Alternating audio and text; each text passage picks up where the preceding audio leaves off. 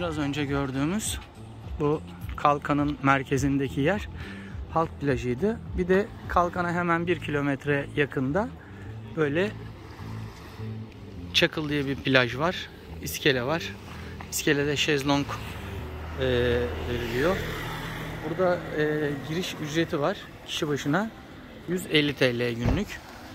Yine Kalkan'da bu şekilde küçük kumlardan ya da iskeleden denize girebiliyorsunuz.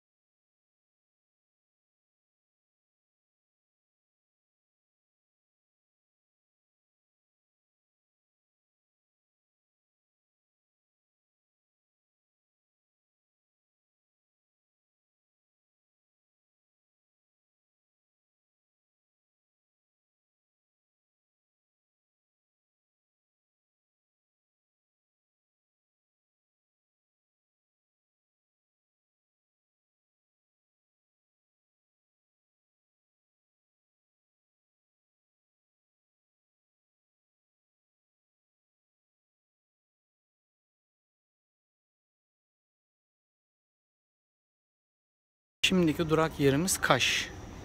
İlk olarak kaldığımız otelin balkonundan, odamızın balkonundan Kaş'ın manzarası. Evet, Kaş sadece çatılardan ibaret değil.